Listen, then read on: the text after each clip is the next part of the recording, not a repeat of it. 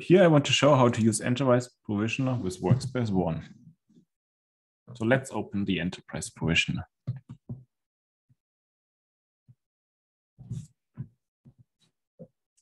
So let's start the wizard and choose the Workspace ONE. In this case, we use Wi-Fi without certificate, so that one.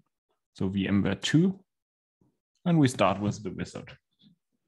First of all, we can set the agent APK, which is the Workspace ONE UEM Intelligent Hub. But in this case, I just use the default URL. Um, we put in the device server name. In this case, we just keep it like it is here. We put in an OG. The good thing is in the tool, it shows exactly where you see that. Yeah, so you can put that in. So then you type in the username and the password. This should be the staging user to um, if you want to do staging in that case. So if you want to do Wi-Fi, let's do Wi-Fi. So we have PowerSafe enabled. So let's use the Wi-Fi here. So it's just called Wi-Fi. It's VPA, WPA.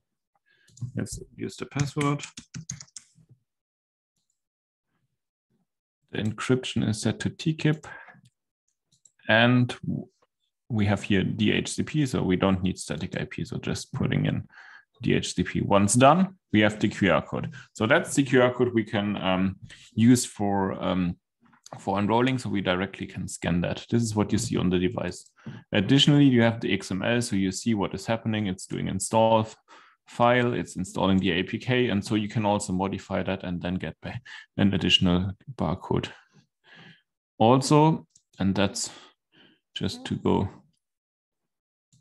to the, you can modify it, and you see here on the data model that everything what is in here, you can copy it out, can change it, and once you click to done, you can also modify some settings. So if you want to go to device owner, you see what we have set it here. You can also go here to device, display, and change some settings here. This get then also applied in the QR code once you create that again. This was in short tour about the Honeywell device provisioner with Workspace ONE.